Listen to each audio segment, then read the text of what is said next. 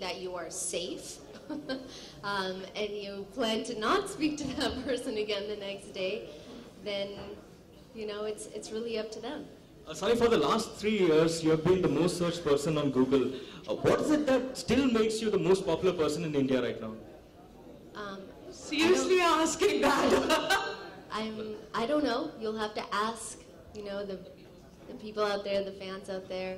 But I do have to say that it is such an amazing feeling. It's something that, you know, we work all year long. I work really, really hard. I try my hardest. Um, I know that this isn't an this isn't an industry that's I guess easy to get into, um, and to have this success amongst the fans is my biggest gift. It's my biggest reward, and keep googling. Well, since we're on the subject, I'd like to ask you, when was the last time you Googled yourself? Um, it's been a while. Um, you know what? I the only time I Google myself is when I see what everybody's writing about me, um, to see what the updates are in news. I Nice. scroll through the bad articles and I skip those and read the good ones.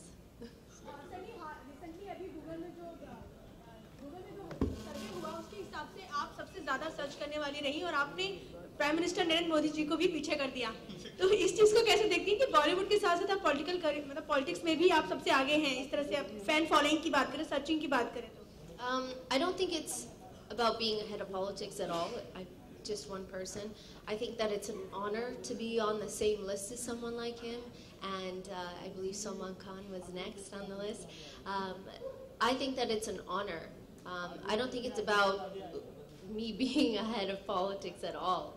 Um, it's it's just the way that it happened, I guess. I'm sure he'll beat me next year because he's going to win over every single heart in India. So everybody will Google him. Hi Sandy, my question is that as everybody is rightly saying, you are not only Bollywood or the film industry of India, but people of India have accepted you, welcomed you with open arms. So you still feel like an outsider or kind of, what is, like how do you feel in India now after so many years down the uh, line in India? Do you still feel like outsider or India is your home now? Um, first of all, I just want to say you look like Santa's little helper. Thank you. You're so tiny. Um, I love it here. Um, this morning, I just got a new car, um, so I'm really excited about it.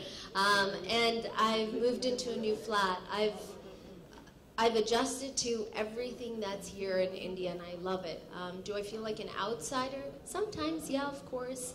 Um, my New Year's resolution is to be more social this year because I have been working so much. I don't go out, I don't go to parties, I don't go to events, um, you know, where it's just purely socializing. So um, that's, that's my New Year's resolution, whoever was going to ask. But I'm pretty comfortable here now. What makes you feel outsider as you said sometimes you do? I think it's I think it's the idea that people are still a little curious about who I am, so they don't always want to approach. Um, but again, I guess that would be my fault because I don't go out much, so that I, of course, I'm going to feel like an outsider a little bit. But I think slowly I'll I'll get in touch with um, you know different people that I've been working with this year, which is a lot, um, make more friends. Thank you.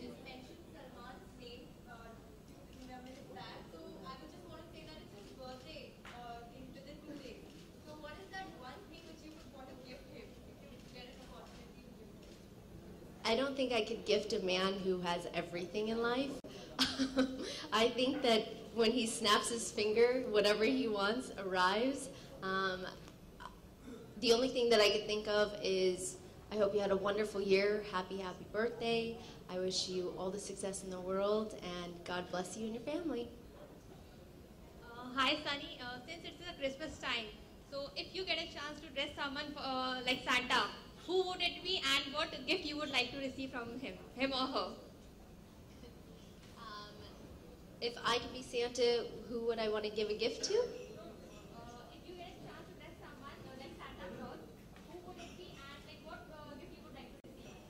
Uh, first, of all, I'd be Mrs. Claus, and Mr. Weber would be Santa Claus. and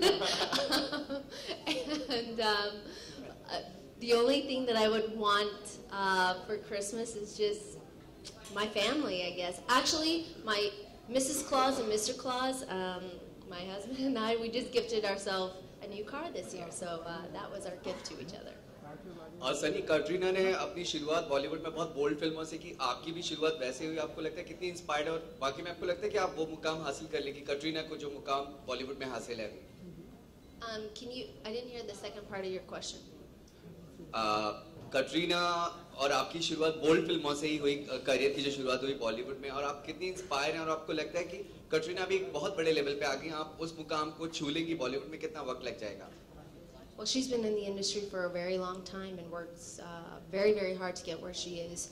Um, everybody has their own journey, so I don't think that her journey or my journey would ever be the same. Um, God willing, uh, I become just as popular as she is. Um, but I do think that it takes a lot of hard work. And I think when people see this movie, One Night Stand, they'll get to see a different side. I mean, obviously, as you know, the sexy parts are there in the movie. But um, we're hoping, the producer, the director, Tanuj, everybody that's a part of this movie, we're hoping that people will fall in love with the story. And more than anything, which is what I love the most, it's thought provoking and even just when I was at rehearsal the other day, I brought up the just the basic plot of this, and it brought up such an amazing conversation. And I said, "Bingo! This is why they have written such a story to create this conversation." So for me, what I got out of it was if this conversation can be created after somebody watches the promos or after they watch the movie, then our mission was complete, which was to make a